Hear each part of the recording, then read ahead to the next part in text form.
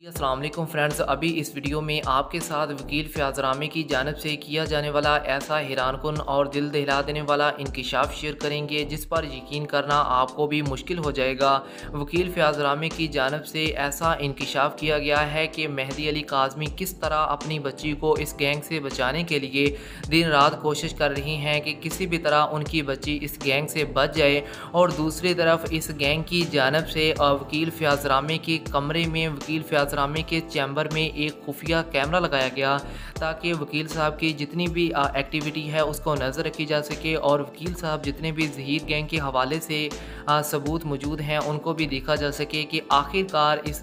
वकील फ़याजरामे के पास इस गैंग के ख़िलाफ़ कौन कौन से सबूत मौजूद हैं, इस हवाले से उन्होंने क्या कहा, अभी आपके साथ क्लिप सुनवाएँगे। लेकिन उससे पहले आपको ये बता दें कि एक शख्स इस गैंग की जानब से वकील फ़याजरामे के पास आता है और वहीं पर आकर वो उन कैमरों की सेटिंग कर देता है और फिर ये वकील फ़याज़रामे के ऑफ़िस पर नज़र रखते हैं कि इस वक्त वकील फ़याज़रामे साहब क्या कर रहे हैं और फिर वकील साहब ने भी इस गैंग को किस तरह धोखे और फ्रेम में इनको फंसाया, इस हवाले से उनकी जानब से एक क्लिप शेयर किया गया है। अभी आप सबसे पहले उनकी ज़ुबानी सुने। इनका कोई ख़ास आदमी था जो जुनैरा महम के हवाले से सुलह के लिए आ, मेरे पास आया और उन्होंने एक सेटिंग की और सेटिंग करके मेरे कैबन में पर्सनल एक वो कैमरा वगैरह इंस्टॉल कर दिए जिससे उन्हें था कि हमें भी प्रीशियस एविडेंस मिल जाएगा।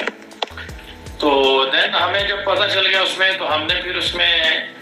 उनको बाकायदा तौर पे मैंने फैमिली से रबता किया और फैमिली ने मुझे गाइड किया कि आप कुछ रॉन्ग इन्फॉर्मेशन है प्रोवाइड करें।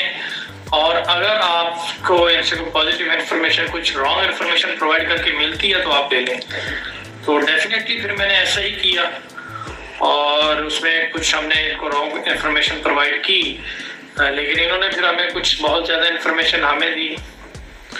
जो हमारे पास सेफ़ है तो फिर उनको समझाया मैंने। बिठा के उनको समझाया कि भाई, अगर आप